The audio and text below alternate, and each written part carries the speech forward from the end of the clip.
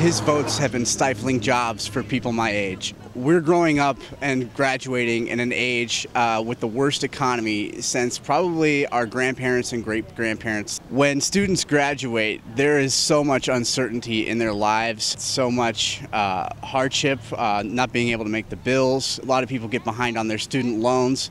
Uh, they're just barely trying to make ends meet. And there really isn't a whole lot of jobs out there for us.